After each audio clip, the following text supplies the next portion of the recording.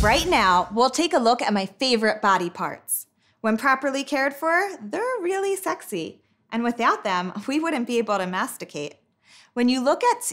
Wait, what are you doing? I said masticate.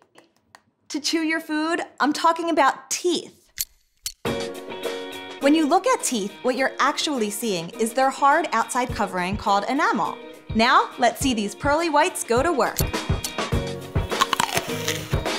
Look at the incisors and canines chop and tear that food from its source and right into your mouth.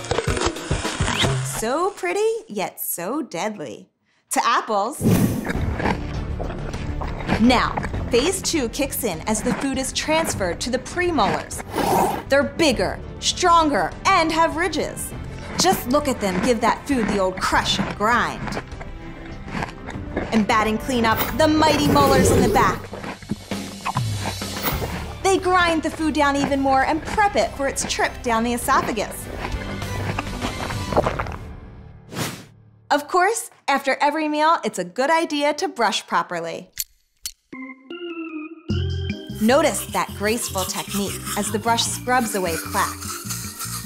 Of course, this is a state-of-the-art brush, but toothbrushes date back to 3000 BC when people would rub twigs with frayed ends against their teeth.